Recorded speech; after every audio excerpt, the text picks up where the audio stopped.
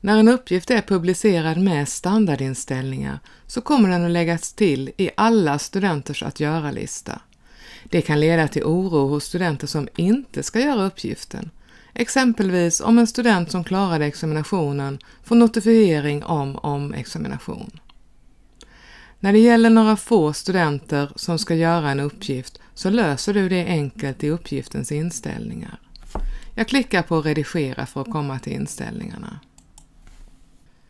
Här längst ner så står det alla i rutan för tilldelad till.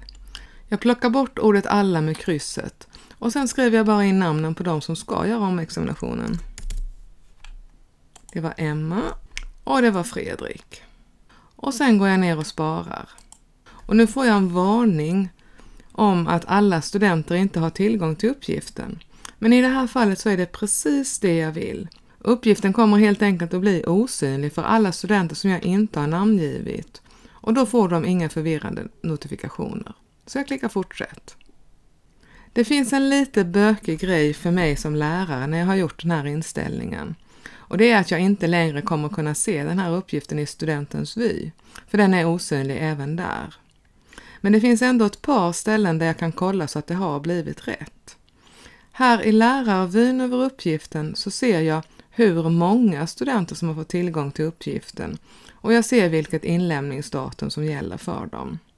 Och för att se vilka studenter det är så går jag till omdömen. Och här ser jag att det finns ett litet streck som markerar för vilka studenter det kan komma in en inlämning. Övriga studenters rutor är helt utgråade eftersom de inte har tillgång till uppgiften.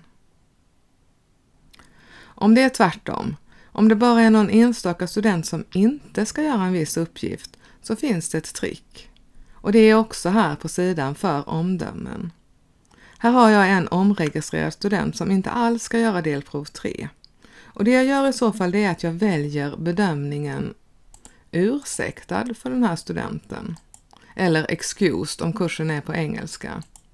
Och om det inte finns någon drop-down-meny så skriver jag e X som i excused.